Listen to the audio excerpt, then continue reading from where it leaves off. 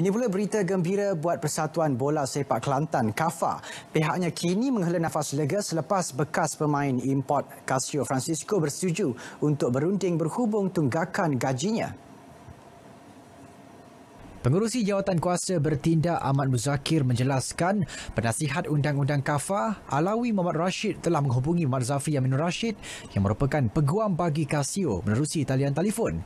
Bagaimanapun, rundingan yang bermula pada 27 Mei lalu masih belum mencapai kata putus. Memang uh, pihak Casio uh, telah membuka pintu rundingan kembali uh, dan uh, saya difahamkan uh, pihak peguam kita dan pihak peguam Casio masih dalam uh, buat rundingan yang terakhir dan jika uh, sama-sama uh, mendapat uh, persetujuan insya-Allah uh, kita akan capai satu apa nama ni berita yang gembira nanti.